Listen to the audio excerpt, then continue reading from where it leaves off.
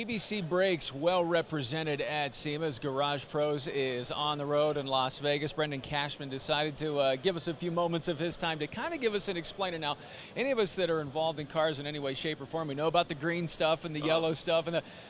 But what is that stuff, and what is it uh, specifically representing each one of those? Well, great question. We're actually um, we make everything very presentable and easy for the customers. Sure. So all of our brake pads are application specific. Obviously, Right. we make anything from an OEM replacement pad all the way up to a track pad.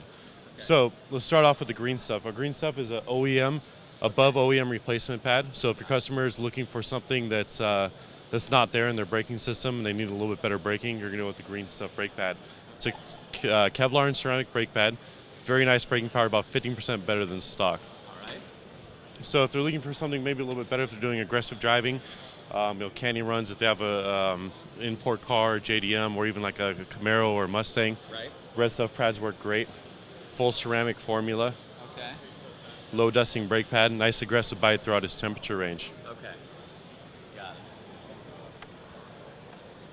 Now, if you have a customer that's looking for a little bit something more, more aggressive bite for the track, we have our yellow stuff brake pad, which is a street and track formula. Okay. Ceramic base with Kevlar for friction, nice high temperature rating, so it works great on the track and on the street.